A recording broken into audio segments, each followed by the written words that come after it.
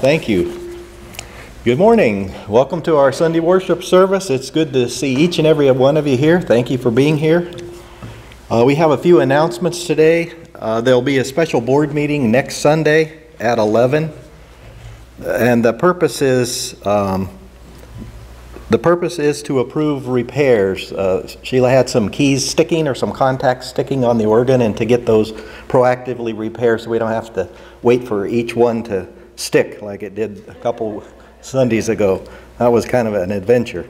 Uh, so then the other thing is to put a couple of small rails here on these steps so people can safely get up the, get up the steps here. So those two topics will be in the board meeting next Sunday. Then also, uh, we'll have a cabinet meeting next week at 11. So we'll sort those two, th those two conflicting things out. Immediately following the church service for the board meeting and then at 11 for cabinet meeting. Any other announcements?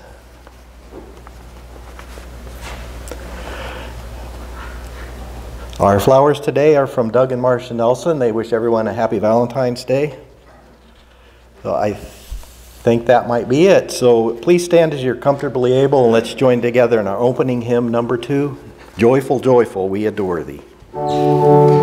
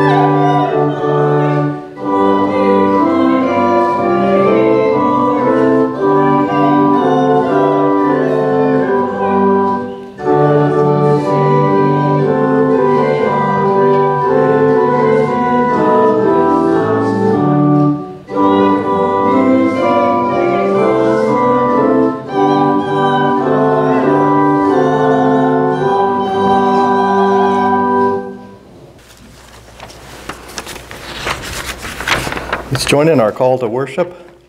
Come and learn the ways of life. Love your enemies. Do good to those who hate you. Pray for those who persecute you. Do unto others as ye would have them do unto you.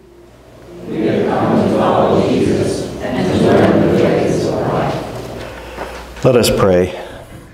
Merciful and gracious God, we gather as your children, trusting that we will hear your voice speaking wisdom into our lives today.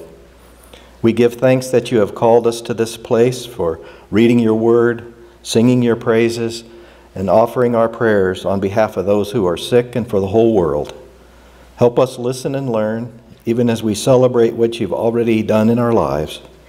We are grateful for your continued blessings, and we give you praise and we ask for your guidance and protection. Lead us in all that we do this morning. We pray in the name of Jesus. Amen.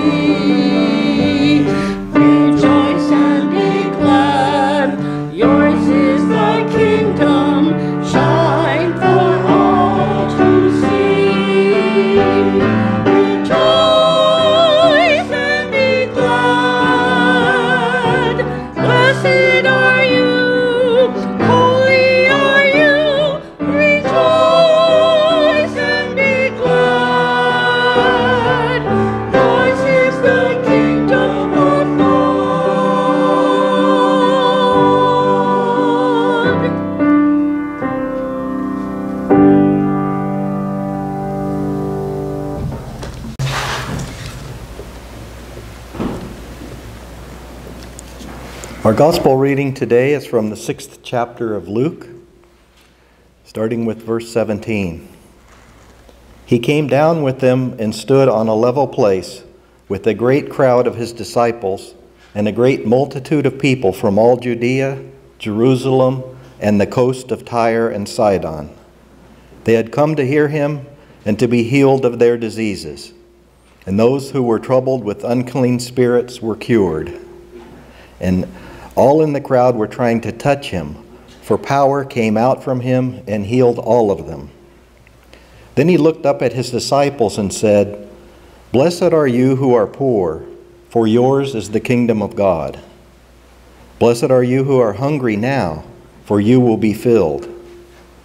Blessed are you who weep now, for you will laugh.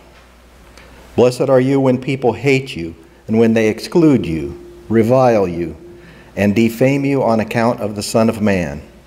Rejoice in that day and leap for joy, for surely your reward is great in heaven, for that is what their ancestors did to the prophets. But woe to you who are rich, for you have received your consolation. Woe to you who are full now, for you will be hungry. Woe to you who are laughing now, for you will mourn and weep. Woe to you when all speak well of you, for that is what their masters did to the false prophets. Now, this is one of those texts that's hard for us to get our arms around. If we just read the assigned lectionary verses, we don't have the context in which Jesus delivered this sermon to his disciples. In the verses right before our reading, Jesus had spent the entire night up on a mountain in prayer. He had some big people decisions to make. So he gets away from everybody and he prays all night about who he should choose as his apostles. And he comes down the mountain, which kind of echoes Moses coming down the mountain with the Ten Commandments. And he approaches three main groups of people, and they're all mixed together. The scene for our reading is the 12 selected apostles, a bunch of other disciples, usually in Scripture that, that's a group of 70 or so, close followers of Jesus, and then a great crowd of people who have heard of Jesus' teaching ability and his ability to heal the sick. And that larger group has traveled from as far away as 100 miles. So, most likely, Jesus would have been tired. He was praying all night about the selection of these 12 apostles. And in the verses right before this, it names the, who the 12 apostles are. So, he chooses those from that bigger group of disciples. And he gets bombarded then by the press of the crowd as they seek healing. And Luke says that power was going out of Jesus. So it's in this tired and distracted condition that Jesus gets the apostles' attention and tells them that the road ahead is going to be bumpy. And he talks to them straight. He doesn't fluff up or sugarcoat the life that they're getting themselves into. Jesus seems to be saying, Forget what you're used to. This is going to be a totally different deal. A different language to speak, different priorities, different ways of valuing people and time and talents. And Luke recalls Jesus' sermon a little bit differently than Matthew does. This collection of four Beatitudes and four woes is called the Sermon on the Plain. And if you have some extra time and you don't mind having your overall understanding of the world messed with, I recommend reading Matthew chapters 5 to 7. In that Sermon on the Mount, Jesus gives eight Beatitudes or sayings describing who all will be, blessed and uh, along with some of the how and the why. But here in chapter 6 of Luke's Gospel, we see just the four Beatitudes and then four parallel woes, where the specifics are reversed.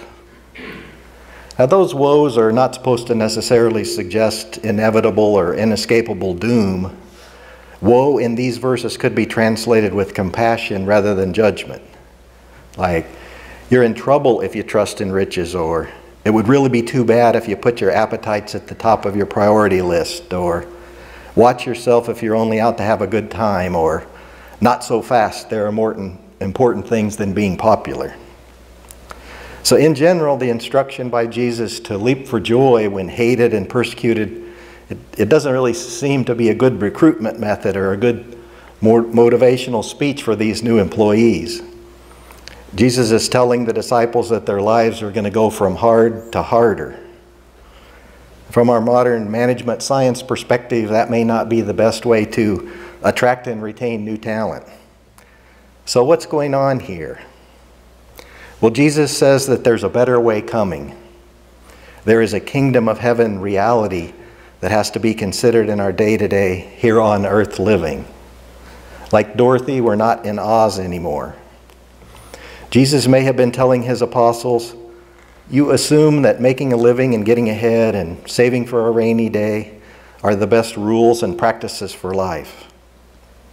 Jesus told them instead that there's a bigger and a better set of priorities. Now, maybe you've been, when you went away to college or when you went from middle school to high school or moved to a new state or something, you had a big disruption in your life and in the, what you were comfortable with and the way you looked at the world. Uh, for me, it was the day I arrived at boot camp. That had been a really long day, and they put us into a group of about 80, and we got to sleep about 2 o'clock in the morning. Then we were rudely and very loudly awakened about 4:30 in the morning by assistance to the company commander. That's kind of the Navy's version of a Marine drill sergeant. And what they did is they took empty tra- metal trash cans with the lids on them and they hurled those down the aisle. And, was, and then they went along bellowing, Fall out on the grinder. And those gentlemen repeated that phrase over and over at tip top volume. And none of us new and bewildered recruits had any idea at all what they meant. So we were all half asleep and trying to process the odd language and the obnoxious behavior. This wasn't in our realm of experience at all. So our world was turned upside down.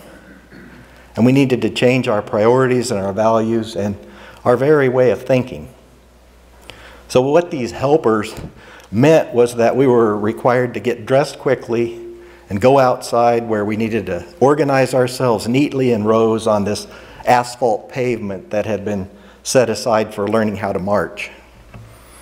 And falling out on the grinder became second nature to us in a very short period of time. And this no nonsense way of becoming introduced to everything, that became a normal pattern and a core piece of the hurry up and learn that was at the heart of boot camp. So, here in chapter 6 of Luke's Gospel, Jesus is blurting out some honest but unusual assessments for his newly named apostles to absorb. By chapter 9, Jesus is already sending them out two by two so they can try out the work of being itinerant preachers on their own. Now, the four Beatitudes that Jesus tells the apostles, the nearby disciples, and the eavesdropping crowd are mostly describing a future view. He describes how things will be when all is said and done. The kingdom of heaven arrived on earth with the birth of Jesus, but it isn't all the way finished yet. Now, these four blessings and woes have been a here and now, they have a here and now sense and an eternal sense. Uh, theologians call that still in process, happening but not finished world the already not yet. The kingdom has arrived with Jesus' incarnation and ministry, but it isn't fully realized yet. So Jesus isn't chewing the disciples out here, I don't think. He had just called them. He's spitting out a level set, you might say, which warned them that things were going to be completely different than what they were used to. They were being called to do kingdom work, and they should expect new language, new priorities, new ways of looking at the world. God's kingdom was among them, but it wasn't finished yet. Now, in these verses, we see the poor compared to the rich, the hungry compared to the full, the weeping compared to the laughing, and the outcasts or those who are persecuted compared to those who were popular and accepted. And like the disciples, we are residents of two places at once. We live in our modern world, and we live in God's partly arrived kingdom. So when we're driving, we look out the windshield as well as looking at the dashboard or at the road just ahead of the car. And we need to pay attention to the immediate as well as to the near future and uh, the distant future all at the same time. It's kind of like when you wear bifocals. We're altern- alternately looking near and far through our bifocals. And we need both views to navigate life well. It's the same way with spiritual life. Current conditions won't last, so we don't want to pin our hopes on temporary things alone. So, in this dual state, there are going to be tensions. Now, there are physical or socioeconomic overtones in these verses, but there are also spiritual currents. Matthew's version of the Beatitudes doesn't limit the poor to those without money, but specifies, Blessed are the poor in spirit. Even in the middle of loss and trouble, as we realize that we're blessed, we can still experience joy. We leap for joy as we realize that we're fully dependent on a dependable God, not because of the negative aspects of persecution or poverty or other concerns directly. The word used in Scripture, which is translated leap for joy, is the same word that Luke used in chapter 1 as he describes Mary telling her cousin Elizabeth about carrying the Christ child. John the Baptist leaps for joy in Elizabeth's womb. And we leap for joy in body or in our hearts because we grasp the fact that our reward for faithful living will be joyous. We have promises from God that we can hold on to.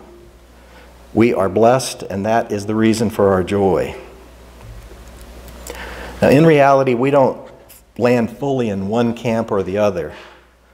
Most of the times we're in the blessed camp and in the woe camp at the same time. And another way to interpret these terms is to substitute happy for blessed and unhappy for woe. And I've also seen this translated uh, lucky in place of blessed and unlucky in place of woe. But being poor isn't a guaranteed way to be blessed, and being rich isn't automatically the road to woe. Jesus is telling his disciples, You guys are now my followers. You're in training and we don't have much time. I'm going to give you a crash course in gospel living. Please pay attention. You'll see me get some pretty rough treatment, Jesus tells them, and I want you to know that you'll get treated pretty badly at times too. Even so, as you remember these words, you can recall that bad treatment could be a clue that you're on the right path as my followers. In each of these four beatitudes and woes, present conditions get turned around in the future. Luke uses this pattern of reversal over and over in his gospel. This just seems to be his writing style. Things aren't what they seem on the surface. Now, we're supposed to invest ourselves in looking at it from all from the perspective of Christ. As followers, we're called to love and forgive others just as Christ loves and forgives us. So, the trouble with wealth and abundance of food and celebration and popularity is that those conditions may lead us to say, This is as good as it gets. Now, it can seem harsh to say, but in the long run, we're better off having some struggle in our lives. So it isn't so much that the rich, the well fed, and the popular are getting an F in life, according to Luke's four woes. It's more that they're at great risk of getting an I for incomplete. They might be satisfied with having a lot and getting recognized. Then that in turn can stifle their search for a richer and a fuller measure of the blessed and abundant life that God promises to followers of Jesus. Now, back to our driving analogies, distracted driving is a big problem these days. And I think that can be a helpful image for us in this context the context of Luke's four blessed characteristics and four woes or warnings. Now, we can't just cruise along on autopilot, we have to be vigilant. It's like Jesus was telling his new recruits and a bunch of the crowd too May I have your attention? This isn't going to be business as usual, he seems to be saying. This isn't going to be easy. We'll have different goals and values and priorities from what you're used to. And some of this won't make much sense to you until later on. And he tells them that kingdom principles can run counter to what they've been taught all their lives. The old rules and ways that come naturally to them may not work out very well in this new approach to living. Now, in boot camp, we learned that we weren't autonomous beings. They drilled into us that we're part of a larger community and a larger mission. So we had to learn new language, new values, a new view of authority, new skills, and new approaches to teamwork. And it wasn't much fun. Most of us had buyer's remorse over signing up. And we counted down the days until we could get out of there. But we did learn. We did have our perspectives changed. So they accomplished their goal to wake us up to a larger mission. There are parallels for our lives with Jesus' goal in delivering this Sermon on the Plain. If we're going to be treated like the Old Testament prophets, we'll need to read up on their lives. If we're going to be poor, hungry, excluded, and unpopular, then we need to understand and prepare for the implications. As we apply Jesus' teaching to our own circumstances, we can begin to recognize what it means to be blessed if we see indications that we're going in the right direction, we can feel the joy of our calling. We can recognize that our path is leading us toward a renewed understanding of the kingdom of God. And when things look upside down to us, we can assume that we're on to something. We might be filled with joy and feel blessed to have what you might call aha moments as we detect God's hand at work in the middle of our blessings and our woes. Now, Jesus isn't really emphasizing the specifics of being poor, filled, hungry, and sorrowful, and popular, and so on here. This passage of Scripture tells us that Jesus was a source of healing power for the crowd, and he was using that backdrop to tell his closest apostles and the larger group of disciples that the way of the kingdom is not the way of the world. Now, maybe we need shocking statements like these to help us adjust our vision to the horizon. It's so easy to focus our attention on the, the shiny objects of our consumer culture and misplace our hunger for the blessings of the spiritual life. We can too easily settle for the here and now instead of grabbing onto the joy and blessing of Jesus' larger vision that's described here in these verses. We can leap for joy, either literally or at least in our hearts, as we see confirmations that the gospel is true and that an upside down reading of the world is showing us that Jesus' description of the kingdom, are, those descriptions are actively playing out. Now, we have risk when we're too content with how things are going because we're on a lifelong spiritual journey. We might not grow as much if everything goes smoothly for an extended period of time. So Luke's woes are a reminder to us that we have to keep in mind that uh, not so fast caution that Jesus gave them. And keep the eternal perspective in mind as we go through the days and we go through the trials of our lives. So Jesus had a different message for the apostles, knowing that they would be treated the same way that he was being treated. They would follow in his footsteps and they would share his fate. So he spoke the truth in love. He was saying, You guys are now my followers. You'll take over for me and get the same treatment the prophets of old got and the same treatment that I get. It isn't fair, but with the right vision, you'll recognize that the path seems so that seems so hard is leading to the very kingdom of God. Jesus tells them in effect, I'm with you. Hang tough. Have faith. Hold on tight to your hope. Now, much of Paul's writing explores the balance between grace and law. The Old Testament prophets knew the law and they spoke truth to power, telling woes to the common people and to kings alike. Now, we can use warning lights on our road too, but there's more to the story than law and woe. There's grace. Because, God, because of God's abundant grace, we are blessed and happy. And some even argue that lucky is an accurate and a theologically acceptable term to use. So, this is a really big deal for us. We are blessed. Jesus came to give us abundant life.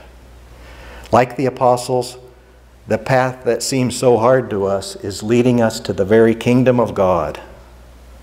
Now, if we were all in the seventh grade, I'd say we're sitting at the cool kids' table. Even when we feel persecuted, set aside, hungry for a better way, we can still have joy. Jesus' message to us is that we're truly and abundantly blessed. We're called to rely on God. It's all going to work out well. We are justified in choosing joy. Jesus is with you. Hang tough. Have faith. Hold on tight to your hope. Amen.